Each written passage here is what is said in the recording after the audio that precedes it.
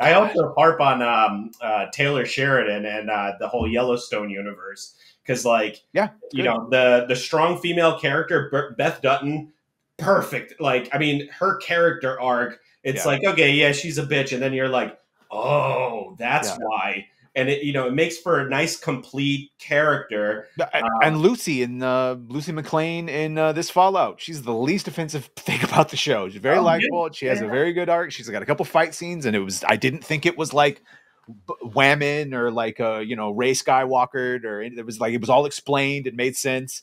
So, so, full disclosure, I've only watched the first three episodes. Badger, I know you've it's like three hours. You can't get the the hang of something by three. That that was my point. I was like, boy, did they take a long time getting through to some of the okay. character moments. Yeah, I mean, I, I so like I don't mind Lucy Maximus. Like I was telling you backstage, I, I find I, I, don't know what the guy the the actor's name is. He just can't act. Like he like you mentioned, he, he might be a better version of Finn from Star Wars but that still, you know, doesn't say a lot. You know, it, it, there's something we said. He gets about, better. He does get better. I, I don't think he's a bad actor. It's just I think that the character they had him is like he's borderline retarded sometimes, and I yeah. think that is them like he is very childlike to the point of like he makes a comment and joke about not knowing about erections and coming and shit like that, and that leads to some very like boy like I'm not saying there weren't sex jokes in uh Fallout, but the way their dialogue it was just oh, it threw me out of it. And like, yeah, I, like I told you, none of the humor actually made me laugh when I know they wanted me to. Yeah, and I mean, and Fallout is known as a series that it's it's a satire yeah. of you know American culture, just like Earthbound was. that. And uh, yeah, yeah, it was. It, it, just all the jokes are falling flat. Um, Overall, That's the thing I don't understand now. It's like these shows and these movies that are coming out are meant to be like the peak of cinema. Like you have to earn your right to be able to direct, write, produce these types of shows and movies. They're hiring these writers that haven't earned that right yet. They're just not good enough yet. Not to say they yeah. won't be later down the line, but if you can't write a funny joke, you you don't you don't you shouldn't deserve that opportunity yet. Like everyone sucks in the beginning. I understand. Yeah, well, that all is definitely true for Disney. Yeah, they, their writers specifically. This I think is more because I was noting it was like it wasn't just Jonathan Nolan. Most of these episodes were written by other people and directed by other people, and the failure wasn't like the jokes maybe would be funny, but like in in the context of Fallout, a bunch of shit threw me out. Like the DEI casting right. threw me out. Some of the commentary and dialogue just threw me out. Um, it's just I don't know. Again, that's where I'm like maybe I'm broken. I have to watch too many horrible things by bad people yeah. that I, I, don't have the ability to gauge. Uh, were you able to watch any of it, uh, Jesse? I know it just came. No, out. I haven't seen it yet. That's why. Yeah, yeah I'm just staying out of. of no, no, like, no. Comment on it's, the... I think I was right on some things, but on others, it's like the world itself. Have you played any of the Fallout games?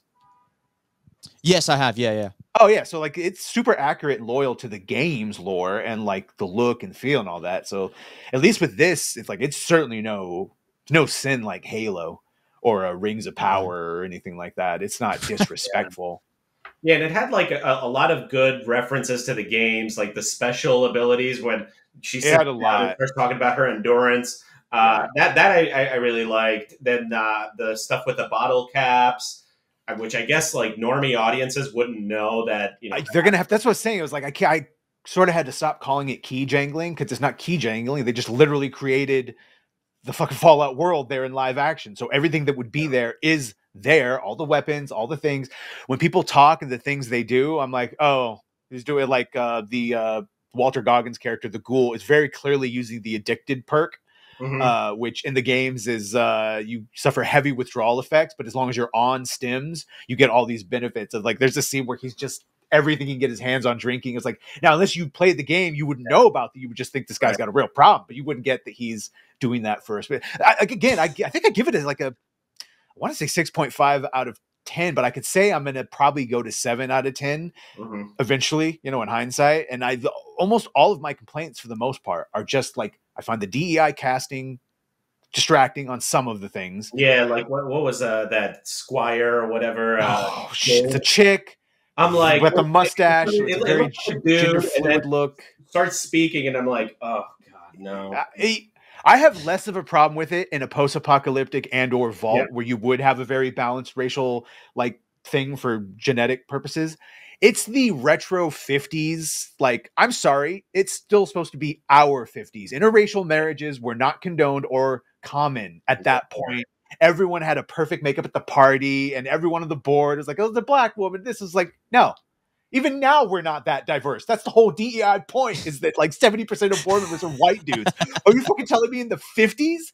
It did that threw me out. I know. And everyone's like, I could hear because everyone says this when you point something out like in something fantastic like this and they go why do you care about that but you don't care about robot or any dumb shit and it's like but that's the point when in, in a world like this be it star wars or whatever the more fantastic shit you want me to believe the little things need to just make sense. Yeah, so i don't you know what i'm saying? So, One like, of the so that's little why i do suspend my disbelief for the bigger ones like the FEV and ghouls and shit like that. Yeah, and like the uh, the the little thing that really I, I hate that the show hasn't addressed at least through the third episode was uh, when you're eating food, you're getting rads. So when she's uh, when she's asking for water, that's dirty water. That's not her purified water from the vault.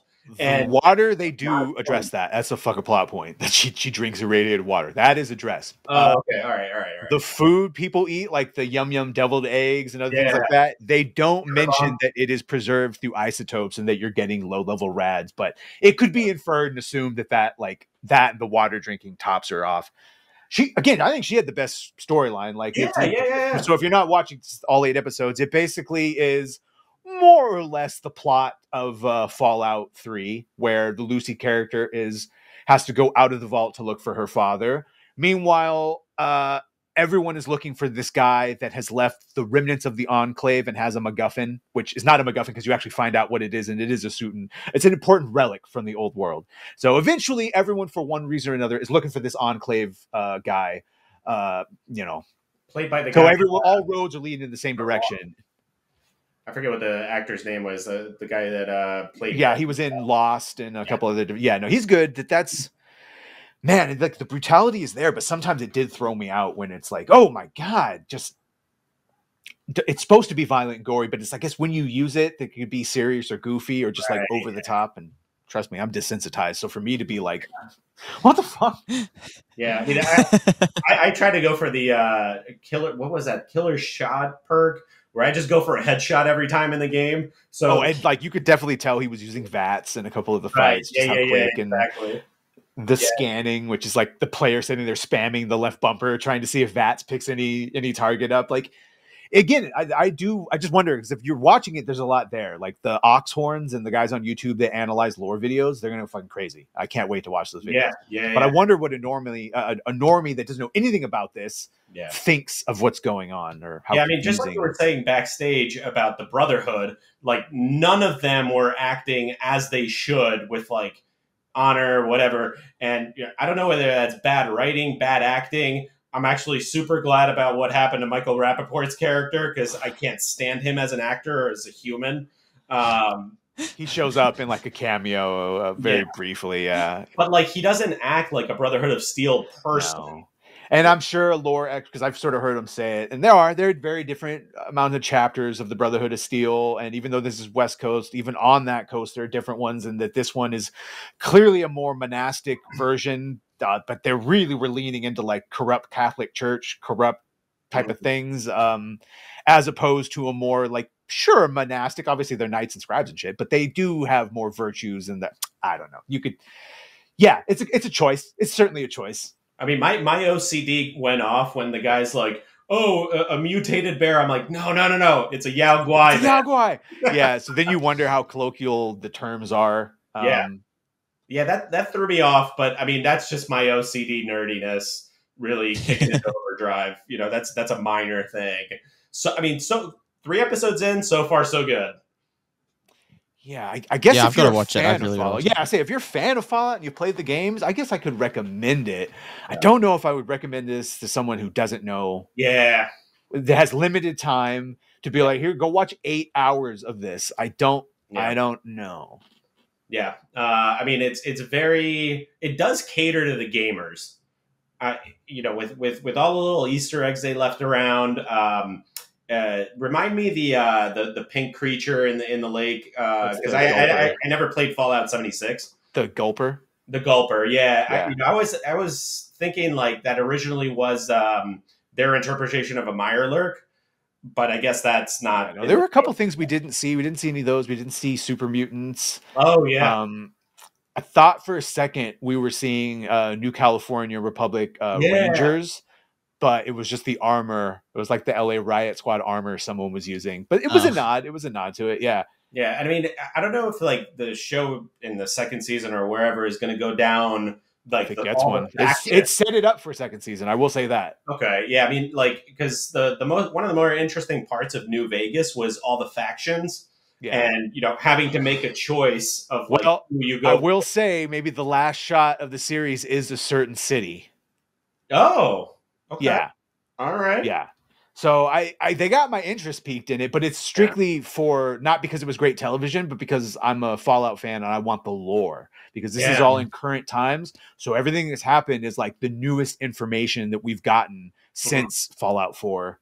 So th- this is what's supposed to be taking place. What 10, a- 10 years before or after Fallout three or four? It is the most recent one, so it should be just after 4 is 2272 or 3 or something Okay. somewhere like right after where so like Yeah, water should be purified on the uh, east coast thanks to the third game and the fourth game the institute uh, the mass assistance whatever they were doing all the synthetics they should be taken care of by the sole survivor and then there should be a whole brotherhood chapter on the east coast this is all on the west coast um, we find know- out what happens to shady sands which was a okay, city from the earlier yeah, spoiler not good things yeah. uh, yeah. Do, do you know if they dropped any hints for Fallout Five?